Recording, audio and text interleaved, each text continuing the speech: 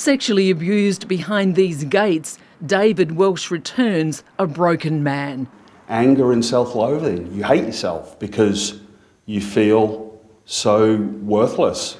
A happy, smiling teenager in the mid 80s, he skipped maths class one day and ended up in pedophile Kevin Lynch's office. He was the school counsellor. Why don't you lie back on this couch? And then he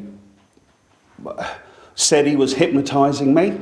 He was sexually abused, but kept it a secret. You're not going to tell anyone because you don't want to admit that it happened to you. The 51 year old is planning to sue Brisbane Grammar School for $30 million for personal injury after losing his career as a high flying investment banker in London. His life spiralled out of control after he turned to alcohol to deal with his demons.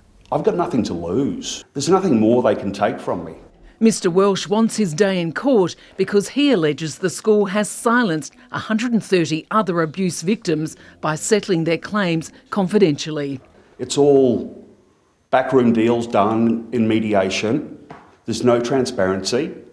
Without these things going to court, um, individual victims won't get the justice that they deserve, and the community at large won't really know what happened. Lawyers say evidence given to the $300 million Royal Commission into child abuse is not admissible in court, despite the fact it found the school was negligent and failed to protect the teenage boys from Lynch's depraved ways. If he wins, it could bankrupt the school, which says it can't comment due to legal reasons. Kevin Lynch went on to abuse other boys at St Paul's School in Bald Hills. He killed himself in 1997 after being charged with child sex offences.